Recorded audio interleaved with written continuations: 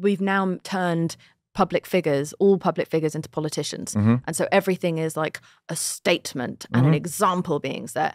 And I just could not get that into my thick fucking skull until truly like the last year. And I still fuck up. But I I really just thought I was joining in a conversation. Like I'm so desperate all the time to learn about people because I feel so abnormal.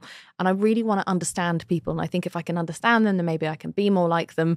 And then maybe I'll be more acceptable. And so I just want to I just want to join in the conversation. Like, I don't think my opinion's better than anyone else. Even when I came out swinging as like this big feminist, and everyone was like, Jameela Jamil, the feminist hero that we need. Like, people were hyperbolizing how amazing and extraordinary, like just this fucking pedestal. Right, but like, I like the conclusion you came to with all that year uh, years ago, and I don't know if you even still believe it. But the thing of like I'm canceled or whatever, there's no, there is no such thing. You just go, oh, you didn't like it? All right, well, th- I'm not going to stop. I'm not going to stop. I'm not going to well- go away. I'm not going to disappear. But what I was saying about the whole, like, you know, like me being like hyperbolized as how amazing I was, even then, back from the beginning, I was like, no, no, no, no, no. I left school at 16. Like, I'm a feminist in progress. I'm figuring it out. I'm just learning. I've always tried to avoid this idea that, like, I think that I am on this soapbox and you should listen to me.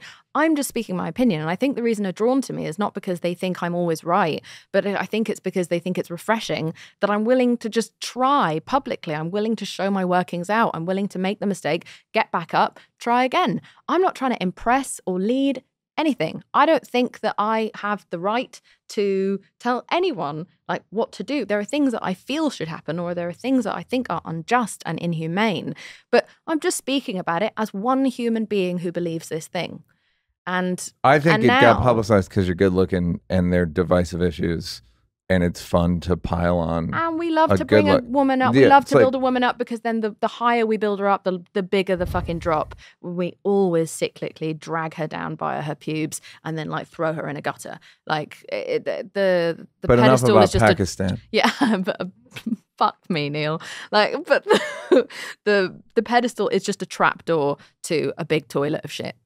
And so Yeah, you know, I, and I knew you- that yes, going on my were- way up. Yeah, Like, I knew you- that on I my way up. I remember you saying like, yeah, you were like, I watched these girls shirk or shrink from the negative attention, except for a few of them who just go, no, I'm not going anywhere. Yeah, man, I get into trouble all the time, and I, we are treated as women in particular as like if you've done something wrong, you have to leave forever. You have to. You can't burden anyone else with your existence. We can't. You can't set a bad example for the others so that they know that they can also make mistakes.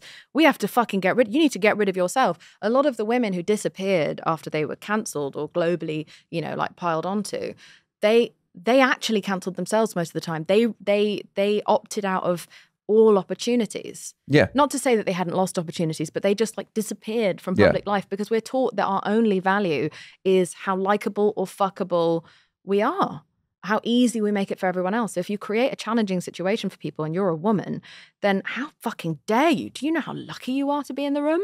And I just kind of was like, I don't know, man. Like in 2020, when I got really piled onto for every single fucking thing that I did or said, like it was just, it was coming. I'd had too many years of being like hailed as God to survive it, and I was being dragged down.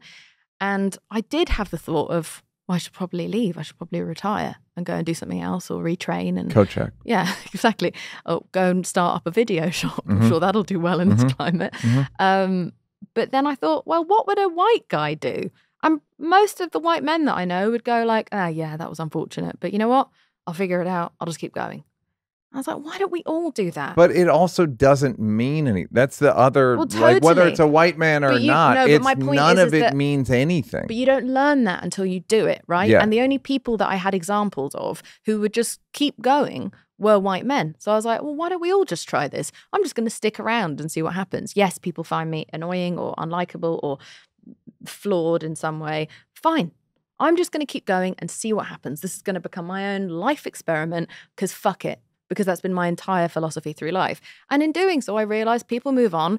They don't even remember what they were fucking They don't mad at you for. Yeah, they have they no don't care. The work comes back and you just grow and you do better. And actually, it's amazing for some people in society to have an example of someone who does fuck up and then changes. We have so many perfect idols, especially women.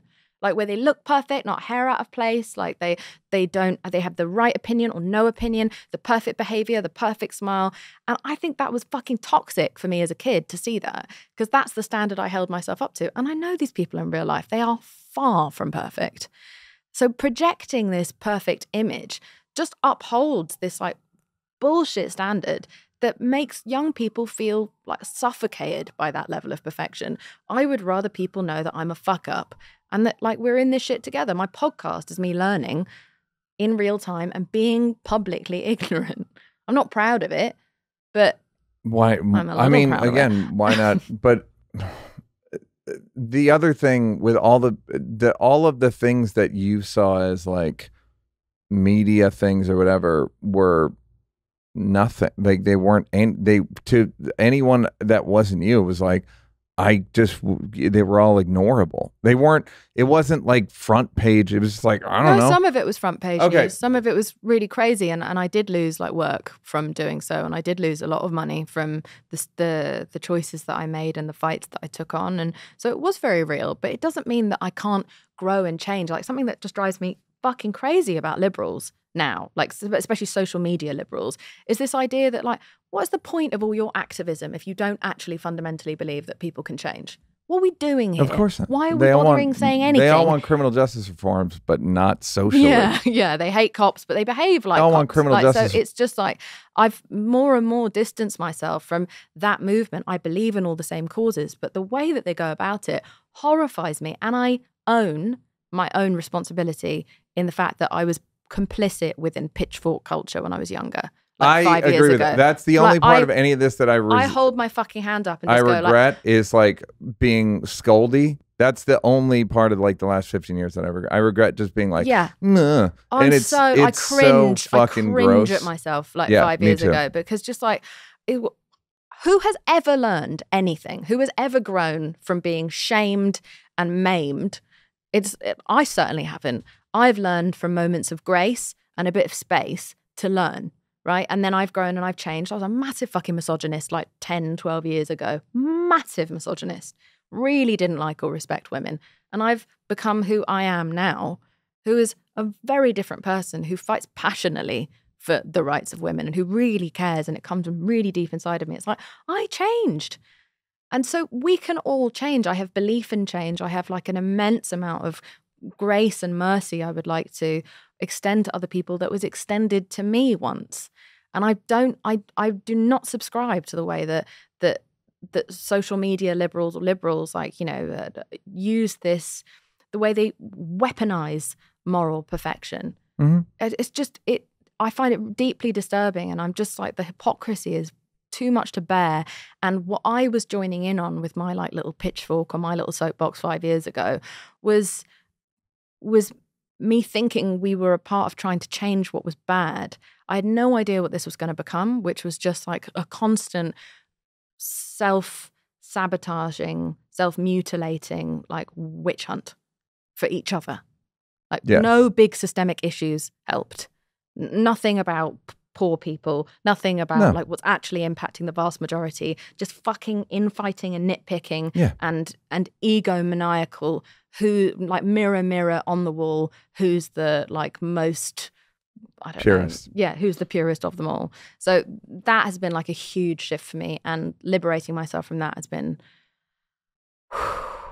Yeah, it was a, it was a, it was It was too all much. performative, and it was not. Nobody was. Mine wasn't performative. I really thought we were trying to change something, but I But but in retrospect, But you're I not what I did changing any. not You're not helpful. fucking changing No. anything. no, it wasn't helpful. The way I spoke to people, like when men were really horrible and vile to me online, rather than ignore it or just challenge, like, "Hey, why are you speaking to a total stranger like Yeah. this?"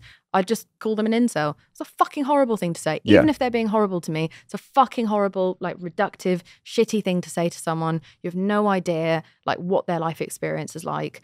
I I I've just the last four years has been so transformative for me to realize that like I none of us have a leg to stand on if we don't treat people with the humanity and grace that we wish to receive ourselves. If someone's telling you how to behave, check your wallet, or check your panties. I stand by it. Hey, did you like that? Did you like that? Yeah, did you like it though? You want more? Don't want to work? Would rather watch videos of me grab assing with people? First of all, go up here to subscribe, and then go up here to uh, watch more clips.